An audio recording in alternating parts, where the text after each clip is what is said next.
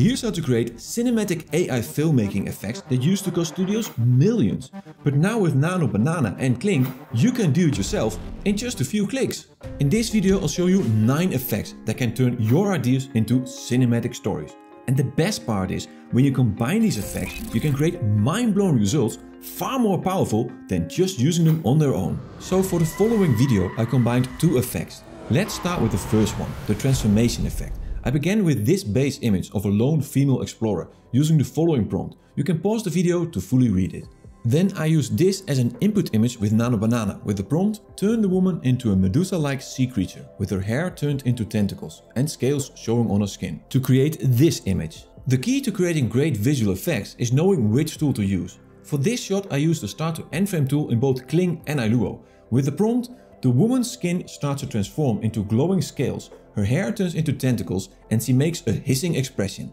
Later in this video I'll also use the image to video tool that works better for certain effects. Comparing the Kling and Hailuo videos side by side, the Hailuo version turned out best, so I chose this one to connect it with the next effect I will show you, the disintegration effect. So for this I will use the end frame from the last video and use Nano Banana to get a clean background plate for this effect to work. And I'm using Nano Banana on OpenArt and here in the image tab I've got the Nano Banana model selected. I'm using the prompt remove the Medusa-like woman and leave only the background.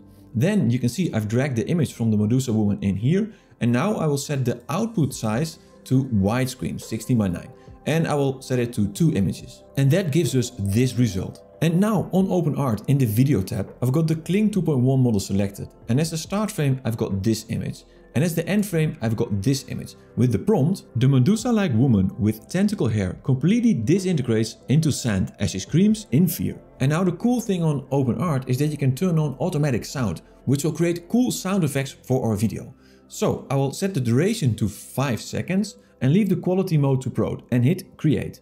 And this is why I like working on OpenArt, because here I can use all the models and effects that I need under one subscription. And then in the free version of Resolve, I used the smooth cut to make a transition to both videos. I applied a speed ramp effect, which I'll explain in more detail later in the video. Then I added the sound effects in the right place, giving me this final result.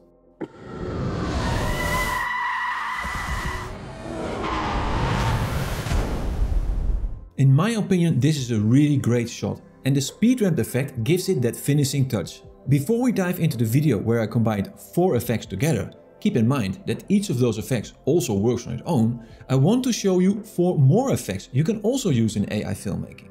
So the next effect is the aerial zoom out effect. And I got inspired by this by my YouTube buddy Tao Prompts, who made a cool shot of a bird flying through a green forest that zooms out all the way to a green planet in outer space. So I created this image of a boat using this prompt and I used this as an input image for Nano Banana and I used the prompt generate an image of the whole earth from space. And then I used the start to end frame tool from Kling with the prompt the camera zooms out starting from the aerial view of the ship to the earth in outer space. And then we got this video which started off really well but then all of a sudden it creates a sort of a double world and I think it is because there's a layer of earth and the water and the AI really doesn't know how to deal with that. So let's move on to the fly-through zoom effect. And for this in Nano Banana I used this input image with the prompt change the angle to capture the abandoned ship head on. And we got this image. Then to create this image I used these two input images with the prompt side profile shot of the woman sitting inside this abandoned ship. And then with the start to end frame tool from Kling I used the prompt the camera zooms in from outside the ship into the woman sitting inside the ship. And then we got this shot, which is a bit slow because I set the duration to 10 seconds. But you could fix this with the speed ramp effect, if you wanted to go a bit faster. For the explosion effect I used the same image as before, but now with the image to video model from Kling. Because for this effect that works much better. And I used the prompt the abandoned ship suddenly explodes, casting a large fireball and smoke into the sky, while the camera pulls backward to show the vast sea. The ship then slowly sinks into the water. I'm actually quite impressed with this shot. Sure, the ship sinks a little too fast into the water, and of course, it's not on the same level as when a full VFX team spends weeks perfecting a single shot, but still, it's definitely usable in a project where you need an explosion effect. Now let's move on to the cinematic relighting effect, which is great for example if you want to change a daylight into a night scene. And for this, to create this image, I used these two images with the following prompt. And you can pause the video if you want, because I'm going to move on to the relighting prompt. And for that I used change the lighting to nighttime, beams of moonlight coming from above, dark blue night sky. Before I use this image in the sequence where I combine four effects, I want to give you a quick Nano Banana tip for when your image doesn't come out realistic enough. For example, sometimes the image turns out in a sort of animation style, although your base images are realistic. And then the tip is to look through your prompt and search for words that might trigger this. And in this case, that was ethereal. And then we used the same prompt without ethereal and then we got this shot. And this looks very realistic. For the sequence with four effects, I made two versions. The ending from the one on the left is more reliable. You'll usually get the result in a few tries. The ending from the one on the right is where I aim for perfection, testing different models and prompts until I finally got the ideal shot. And that's why I want to show you both approaches. Since both start with the same effects, let's begin with the first one, the object highlighting effect. So for this effect to work, we need a dark scene. That's why I'm using the relighted input image in Nano Banana. And the prompt, zoom into the book, the woman has written a text in a mythical language. Then I use this as the input image. With the prompt, create a glowing outline around the book in gold. The golden glow lights up its surrounding. And then in Kling, I used this as the start frame and this as the end frame. With the prompt, Camera zooms in, animate the golden lines to outline the book. And I used a 5 second duration and that gives us this video. So for the magical levitation effect, I used this as the input image in Nano Banana with the prompt the book is floating in mid-air, the pages are flipping on its own and the book is emitting a glow. So with Kling I used this as the start frame and this is the end frame. With the prompt, the camera pulls backward as the book starts glowing and floating up in mid-air. The pages are flipping rapidly while some pages fly out of it. And that gives us this video and I am very excited about the shot. And especially when we will use the speed ramp effect on it, it will look very good. For the portal morph effect, I used this as the input image in Nano Banana. With the prompt, remove the woman from the image.